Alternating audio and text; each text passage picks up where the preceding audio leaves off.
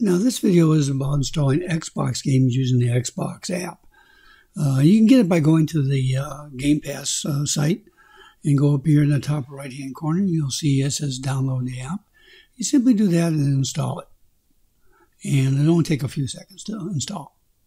Now, years ago, each game had its installer and it would choose uh, automatically to just throw it on your C drive. You'd have to do custom. You have the same thing here in the Xbox app for Xbox game. You can click on the install and it'll go right there on the C drive. However, uh, let's take a look at uh, the drives that are available. I have quite a few for different functions, and it looks like I want to put it on the uh, H drive where I keep all my games. Now, this drive ensures that my operating system is not being uh, impacted by loading on the C drive, but instead having all the game content on a separate drive and therefore usually only one game is operating at a time, uh, and that drive can be devoted strictly to performance for that game.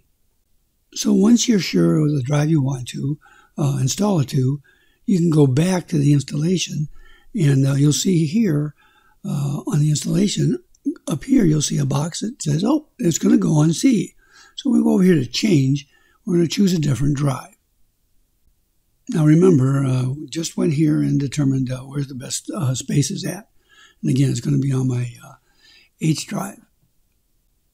And just for a little bit deeper drive, I want to take a look at what's on here just to make sure. I have other things here. I have my Atari Aficionado, so I have stuff there for that. Different things that uh, may be uh, used for, but they're not going to operate at the same time. So there it is, H Xbox Games. Uh, that's what we're going to use. Once I click on installation, you would think here that it would allocate that uh, amount of space. Now that's because it's not really installing yet. So you can refresh this all you want. You won't see any change here. If you go back to the app, you'll see that it's downloading and uh, not installing. But then again, uh, you'll never see a change from downloading to installing in this app. You'll just see it uh, doing its thing.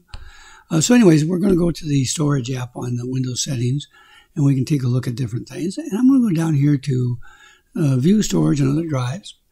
And I'm going to go down here to my H drive and I'm going to take a look at it. It still has 145 gigabytes free, uh, and so it's going to analyze it. And if we go into a different category, for example, here, apps and features, and we can see exactly what's uh, being used. And as it populates down below, you'll see that I have some of the games here. And there's my Halo and Just Cause and all that, uh, occupying some space on the drive. So if we get out of that for a minute and we go back to the uh, the installation and uh, take a look, and it's still going. It's early in the stages, but it's still uh, showing. It's a little slow, uh, but that's okay. I got plenty of time.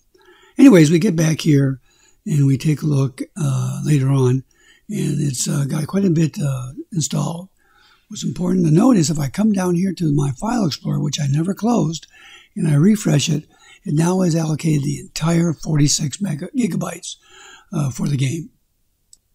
So if I return to the File Explorer and uh, take a look and dive into that a little bit, again, it's downloading, and it shows here uh, the 97 gig. If I go over here to the Xbox game directory, and sure enough, boom, there it is. Uh, there's the installation going on in that folder. Now remember, this isn't the normal Windows installation where it goes underneath program files and things like that. It goes to Xbox games. In this particular case, this is on my C drive. Uh, and but if I go to other drives, uh, as well. So let's go over here, and there it is here. Not in the program files that are installed there, um, because I do have regular apps that are installed on multiple uh, drives. But here we are in Xbox uh, Windows apps. I can take a look at, but I can look at the Xbox games uh, that are available down here. And again, that's where we find uh, this particular game being installed.